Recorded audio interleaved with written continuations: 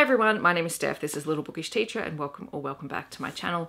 Today I am going to be sharing some picture book reviews all about kids generally being awesome. It's really easy to find picture books where the main characters are animals or non-human entities, but it's also really important to see great picture books that reflect kids as they are, as well as a diverse range of cultures that children come from. But today I've picked out six books that I wanted to share with you that I probably haven't talked about on this channel yet. And I've got a little bit of a summary of the book as well as some really cool things about the book that could be used in classrooms. So I think it's really fitting that I start this video off with Hello and Welcome by Greg Dreise.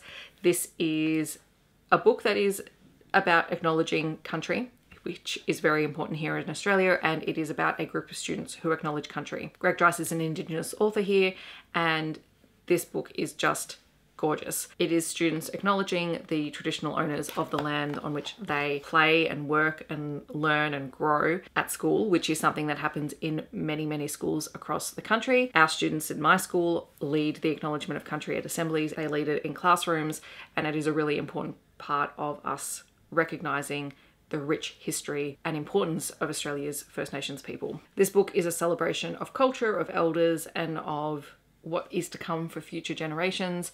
It does feature dual language, so there is a glossary of words at the back so you can unpack that with students. It is, I think, based off the Southwest Queensland Indigenous language group, which is different to the language group from where I am. But I think it's really important that we have multiple representations of the different language groups because one of the other cool features that we have in this book is the political map of Australia and all of the different colours here are the different traditional owners of Australia because there are hundreds of different Indigenous groups and they all had their own language, their own customs, their own history, and their own stories.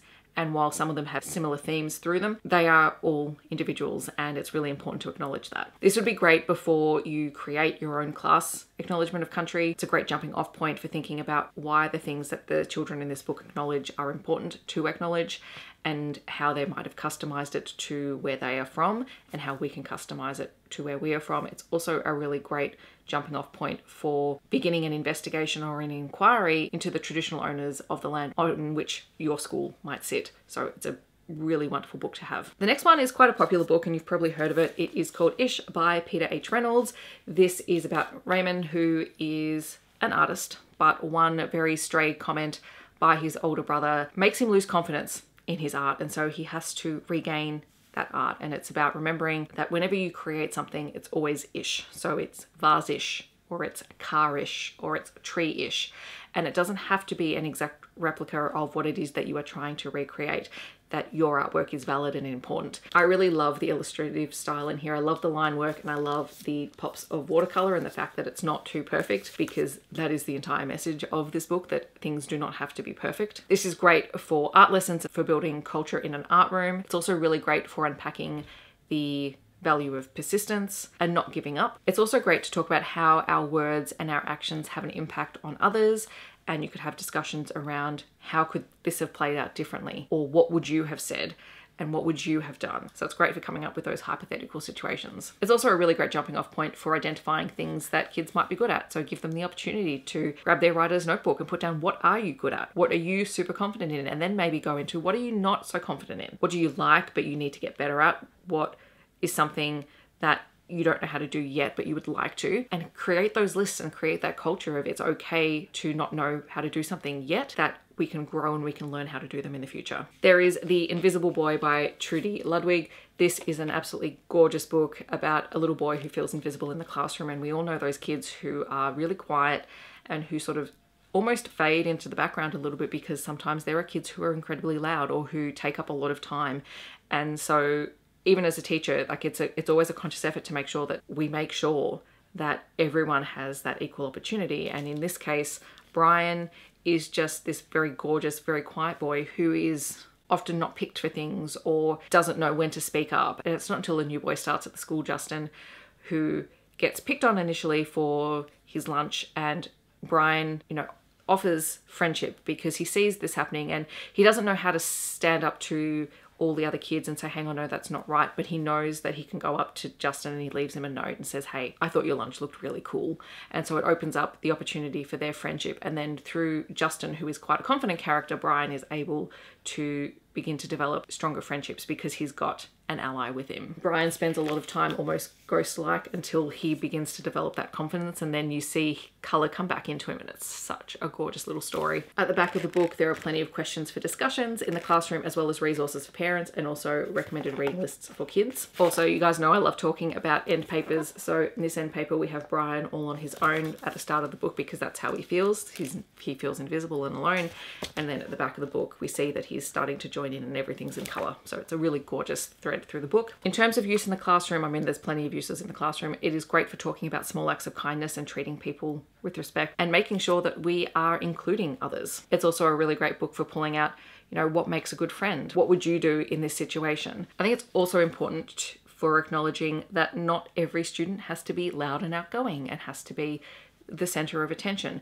We definitely have those kids, and that is very valid, but also our quieter kids are valid, and it's okay that you don't feel like you want to shout your thoughts and feelings out to the world. How do we work with those kids to give them a voice and to make them feel like they're seen? So those are really important because it acknowledges that not every student is the same. And I think any book that helps us to look at how do we be more inclusive in a classroom space is really important. There is Clancy and Millie in the Very Fine House by Libby Gleeson. This is an absolutely gorgeous Australian picture book this is about Clancy, who has moved from a very quiet, sort of suburban house into a very big townhouse in an urban area that just feels to him very sterile and imposing. And while his family are unpacking, he ends up in the backyard and he has all of these boxes and he starts playing with them and creating things. And then Millie pops her head over the fence and asks if she, she can join in. And so it is the start of their friendship. Again, really great for talking about friendships and how we make friends and how sometimes we might invite people but how we might also have to ask if we can join in. And I think that's a really important conversation to have because kids these days don't always know how to ask to join in. They expect that they will just get invited, and sometimes we have to have conversations about how can you let people know that you're interested in playing with them. It's also a really important book because you often have kids who move around a lot, so having stories that you can use to unpack those feelings of moving, it's not always the best feeling initially, and that moving means lots of big changes and picture storybooks are great for unpacking that and talking about, you know, well, why would Clancy feel really overwhelmed by this new place. What words of advice could we offer him? In terms of using it as a mentor text, it has really great varied sentence structure. You've got simple, compound, and complex sentences in here. It also has a beautiful vocabulary. And I was sitting here, and this may be because I spent two days doing professional learning around spelling and vocabulary. I've actually pulled out some T2 words that I just thought were absolutely beautiful that you could use with this book. So here we go. Some of the vocab I loved in here were dwelling, fine, whispers, comfortable, flops, creeps, and pokes. Being able to study that language and pull it apart and build kids' vocabulary with that through this book would be just such a fun time. You could also use it as a jumping off point for play, construction, get out some empty boxes or get out some blocks and have kids work together to create something and then share it. And also I've used this for many, many art activities. It was a shortlisted book many, many years ago and quite often we would just get brown paper or recycled paper or even empty boxes and cut them up and create shapes and then talk about what kind of things we had created out of our boxes. So it's a gorgeous book. Another stunning book for small acts of kindness is Crumbs by Phil Cummings.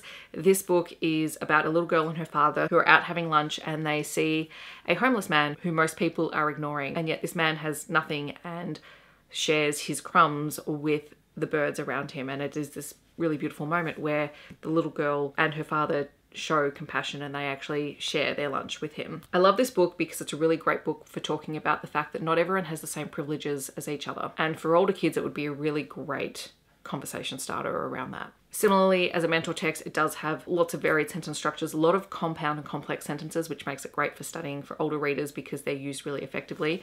And just like in Clancy and Millie in The Very Fine House, the vocab in this is stunning. So you've got things like words like whisper, fragile, precariously, teetered, pleadingly, weaving, quivering, haunting, slumped, cruel, soothing, crumpled, and scattered. Vocab is one of those things that is so important to teach. The more words that kids leave school with, the more success they're likely to have. And the way that we unpack these words is in context, is in books, because because quite often for many of these kids, it's the only time they hear them. And so I think finding those books with really rich language opportunities is absolutely essential. And the last one is one that has been around for many, many years, and it is Whoever You Are by Mem Fox.